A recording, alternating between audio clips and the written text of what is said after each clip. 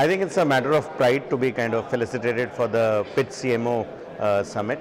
Uh, I think it is uh, events like this which keep on um, giving us uh, motivation and enthusing organizations to do stuff which is fairly innovative as we kind of go ahead to that extent. I think it's a fairly respected property in terms of how it kind of looks like today.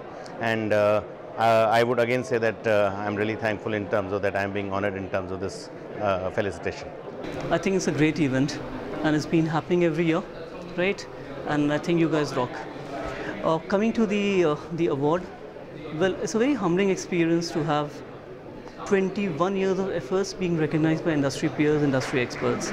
So I really feel that this is a call to action rather than celebration of the stuff that has been done before it'll definitely help to keep me motivated and inspired.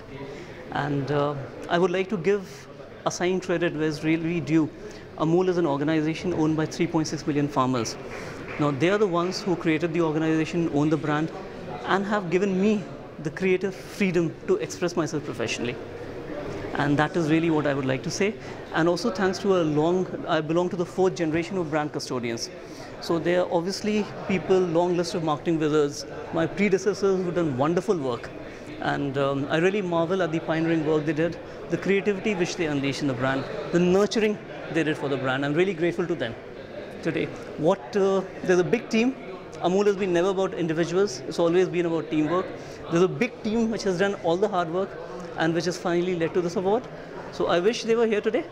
And uh, this is for the team. I know they're going to be thrilled about it.